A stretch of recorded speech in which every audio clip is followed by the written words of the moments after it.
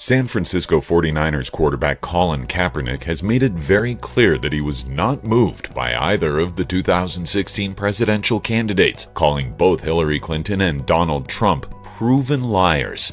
Now, Kaepernick is back in the news as it has been revealed that he did not vote in the 2016 presidential election. Wednesday, during a media conference call, Kaepernick expressed his reason for not voting, saying, I've been very disconnected from the systematic oppression as a whole, Kaepernick said. So for me, it's another face that's going to be the face of that system of oppression.